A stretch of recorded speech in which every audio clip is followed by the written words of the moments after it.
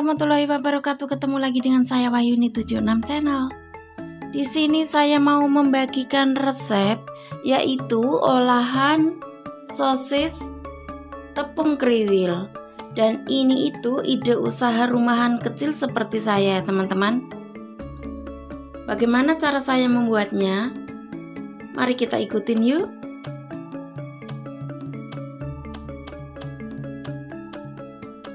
Dan buat teman-teman yang baru bergabung dan menemukan channel saya, lalu mengklik video saya, saya ucapkan terima kasih.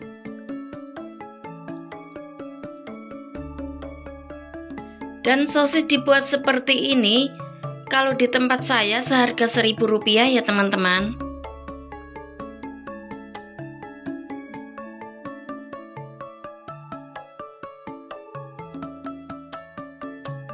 Nah, di sini sudah saya siapkan ada bahan dan bumbunya. Di sini ada sosis 5 buah yang nantinya akan saya potong menjadi dua. Saya menggunakan sosis seharga Rp1.000 ya, teman-teman. Di sini ada tusukan sate yang nantinya saya akan gunakan juga. dan ada tepung terigu. Saya menggunakan tepung terigu curah ya. Di sini ada daun bawang yang sudah saya potong-potong kecil seperti ini.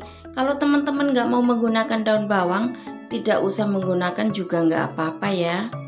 Di sini ada telur satu butir dan juga kaldu bubuk rasa sapi. Karena sosisnya rasa sapi, jadi saya menggunakan rasa sapi ya teman-teman.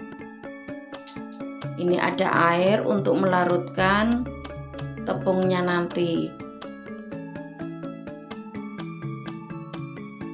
Dan sekarang saya mau memotong sosisnya menjadi dua bagian. Saya akan potong bersama ya, sekaligus supaya panjang pendeknya rata. Jadi dipotong bareng seperti ini ya teman-teman.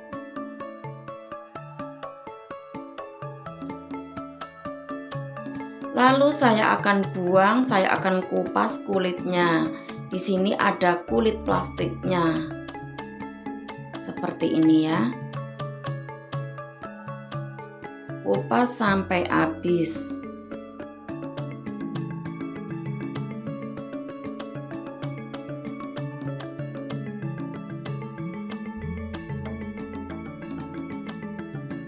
Nah, ini udah selesai.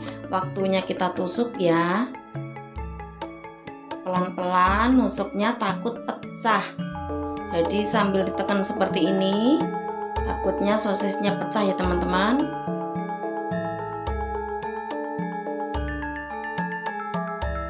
Nah, seperti ini kira-kira.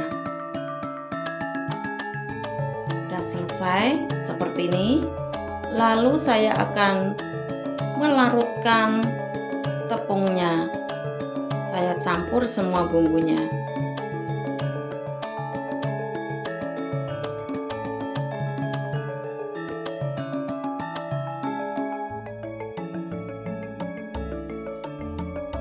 Kita gunakan air terlebih dahulu ya. Jangan terlalu encer. Kalau terlalu encer, nanti sosisnya tidak menempel, teman-teman. Seperti ini sudah cukup ya. Nah, seperti ini. Lalu kita tambahkan satu butir telur dicampur di dalam tepung yang sudah dicampur tadi ya. Seperti ini.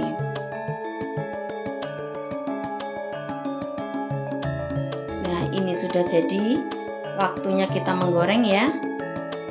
Seperti biasa sudah saya siapkan ada penggorengan dan minyak secukupnya.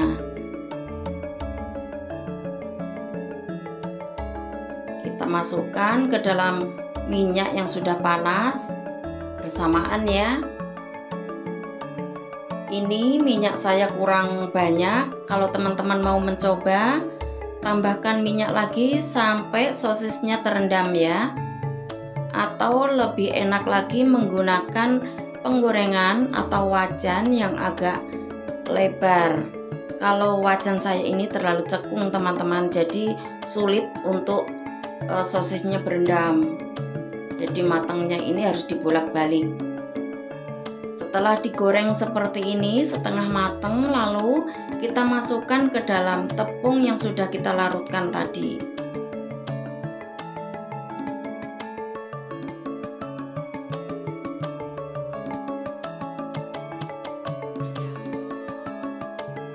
Kita masukkan ke dalam tepungnya ya ini lalu kita goreng kembali dicelupkan sampai dua kali supaya menghasilkan tepung kriwilnya lebih tebal seperti ini ya teman-teman kira-kira kalau teman-teman ada yang lebih pinter lagi barangkali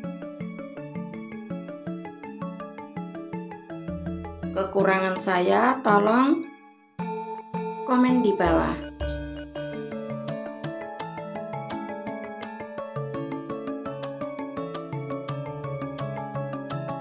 Ini masukkan kembali ke dalam tepung terigunya yang tadi ya.